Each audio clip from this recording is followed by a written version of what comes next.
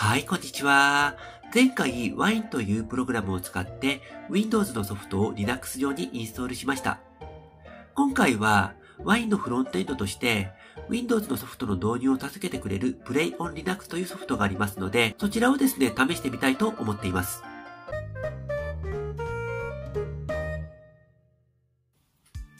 はい。前回の動画で、Windows のソフトウェア、exe ファイルをダブルクリックすることで、Wine と Wine の関連ソフトウェアをインストールすることができました。今回は一緒にそのインストールされた Play on Linux こちらについて説明させていただきたいと思います。この Play on Linux なんですけれども、Windows のソフトウェアを Wine で実行しようと思ったら、そのソフトウェアごとに Wine の最適なバージョンというのが大体決まってるみたいです。なので、このソフトウェアにはこのワインのバージョン、このソフトウェアには、まこのワインのバージョンといった風にですね、複数のワインのバージョンを管理する必要があるみたいです。ですので、このプレイオン Linux では、どのソフトウェアが、どのワインバージョンが最適かっていう情報をあらかじめ持っておいて、必要なワインのバージョンをダウンロードしてくれて、管理してくれるというソフトウェアみたいです。まかなりですね、すごいソフトだなとは思いますけれども、実際の使い勝手はどうなのか見ていきたいなと思っています。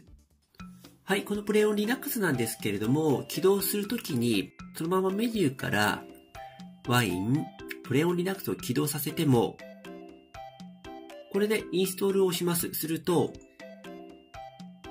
はい、こういう風にですね、プレイオン Linux インストールメニューが開きまして、ここに一覧が出ます。一覧が出るはずなんですけど、実はですね、何パーセントか表示されるはずなんですけど、日本語環境だと、パーセンテージが表示されません。ずっとこのぐるぐるぐるぐる回ったままになっています。はい、ですので、一回キャンセルをします。はい、閉じます。イエス。はい。これはですね、起動するときに日本語ではなくて英語で起動するようにします。はい。端末上でですね、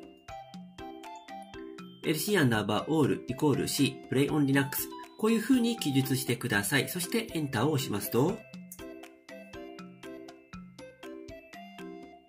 はい、プレイオン Linux が英語表記で、はい、起動しましたね。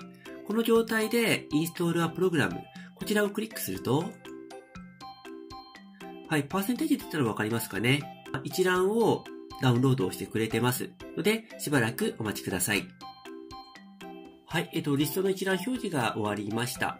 で、これ各カテゴリーを見ていきますと、こんな感じで、はい、えっ、と、各ソフトウェアの一覧が表示されます。はい、この中でですね、まあ、テスティング、多分テストバージョンなのかな？ちょっとこのテスティングというかわからないですね。はい、あの、コマーシャル、これがですね、商用だと思います。はい。で、この中で、まあ、何かダウンロードしてみようかなと思います。マイクロソフトペイント。こちらの方をクリックして、インストールを押します。はい、ウィザードが立ち上がりました。NEXT を押します。はい、NEXT。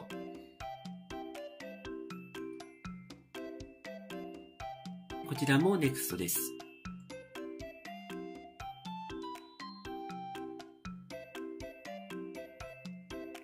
えっ、ー、と、そうですね、今ダウンロードが始まりました。ちなみに、ワインの3.0.4というのをダウンロードしてくれてるみたいです。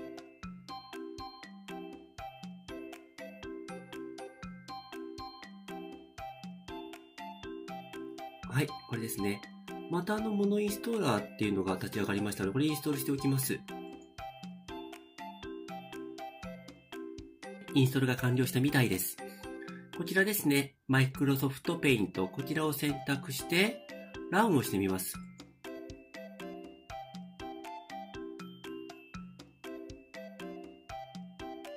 はい、ちょっとこちら左上になっちゃったんですけど、はい、MS ペイントですね。はい、ちゃんと使えます。バッテンマークで、の、デスクトップにもですね、 MS ペイントドットデスクトップができてますので、こちらはですね、ダブルクリックをしますと、はい、こちらの方を信頼して起動してください。すると、アイコンがですね、マイクロソフトペイントのものになります。そして少し時間はかかるんですけれども、はい、MS Paint が起動しました。はい、同様にですね、いくつかダウンロードしていきたいと思っています。続けて、インストールはプログラム、こちらをクリックします。同じく、チェック外して、オフィス。マイクロソフト Excel ビューアーとか、マイクロソフト Word ビューアーとかありますので、こちらの方もインストールしてみたいと思います。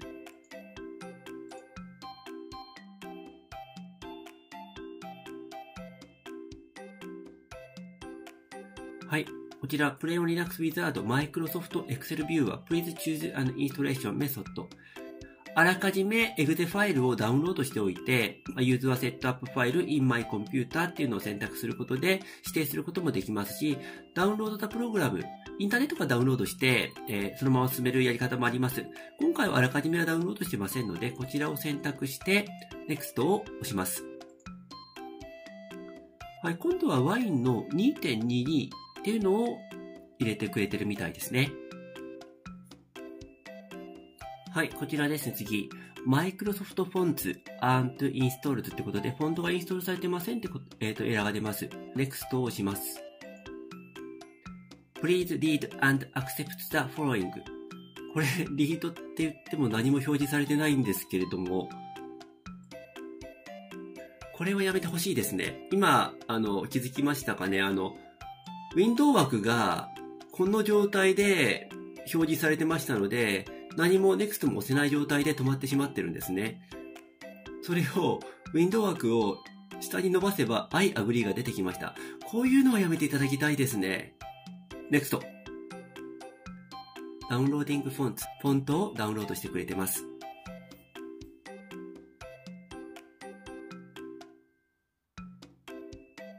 はい、これですね。えっ、ー、と、インストールできませんでした。Play on Linux has County であのエラー、まあ、エラーが発生しましたということで、プレモリダクトを使っても一部のソフトではうまく使えない場合があるみたいです。はい、えっと、他のソフトもインストールしてみます。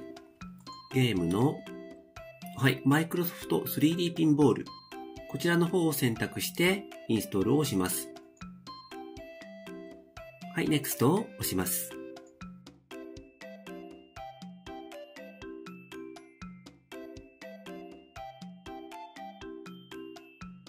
い、今度のワインは1.7.37みたいです。はい、えっとですね、実はですね、このなんか変な棒みたいなのが出てるんですけど、この状態になったら、Please wait file the virtual drive で、これがですね、どうやらこのまま、ここで止まるみたいなんですね。これもなんかプレオンリナックスのバグなのかわからないんですけれども、これから処理が進まなくなります。ですので、ちょっと解決策の方を、あの、今回やってみたいなと思います。はい、さっきのですね、バーチャルドライブの作成のところで止まってしまうエラーなんですけども、その解消方法、えっと、調べてみました。えっと、海外のサイトとかの掲示板で書いてあったんですけれども、中の libzso、libzso っていうファイルが悪さをしてるみたいです。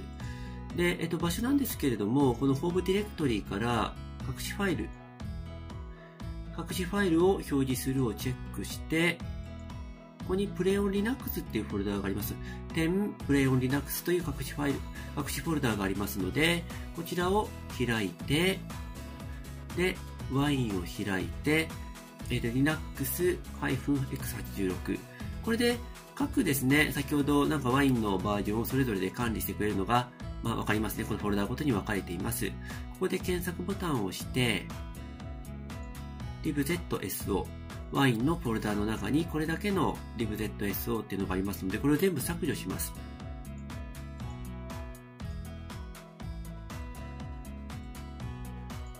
はい。この状態でもう一度ですね、起動させて、えっ、と、ピンボールをインストールしてみます。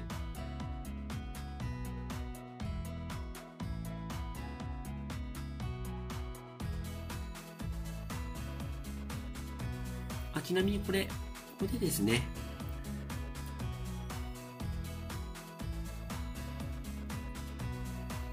はい、検索もできます。マイクロソフト 3D ピンボール。これでチェックを入れて、インストールをします。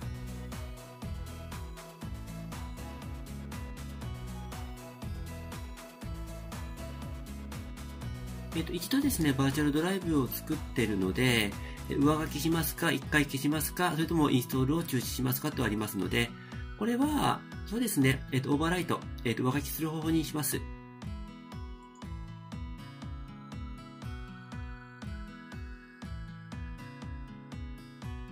はい、バーチャルドライブの作成のところでエラーは出なくなりましたね。ところがですね、はい、えっと、何が悪いのかわからないんですけれども、インストールできませんでしたっていう風になります。先ほどの Excel Viewer と同じような形ですね。はい。というわけでですね、インストールできるソフトとできないソフトがあります。で、インストールできたとしても、途中でエラーが発生する場合、途中で止まってしまう場合もありますので、まあ、そこの解消方法も覚えておかないと進むことができません。考え方自体は確かに各ワインのバージョン、適切なバージョンで管理してくれるっていう話だったんですけれども、それが実現できてるようには思えませんでした。はい、いかがでしたでしょうか？Play on Linux 現在の最新バージョンで試してみたんですけれども、日本語で起動した場合、ソフトウェア一覧が正常に表示されません。ですので、端末上でコマンド入力で起動する必要があります。また、インストール過程において、バーチャルドライブの作成でフリーズしてしまうことがあります。また、そのバグを解消したとしても、ソフトウェア一覧の全てが正常にインストールできるわけではありませんでした。プレイオン Linux のコンセプトは、ソフトウェアごとに最適なワインのバージョン環境を整えてくれるというものだったんですけれども、現時点でそれがうまく機能してるとはあまり思えませんでした。むしろ、プレオンリナックスが内包するバグのおかげで逆に悩まされてしまうことが多くなるかと思いました。ですので今後のバージョンアップに期待したいなと自分は思っています。はい。今回の動画はこちらの方で終了させていただきます。ご視聴ありがとうございました。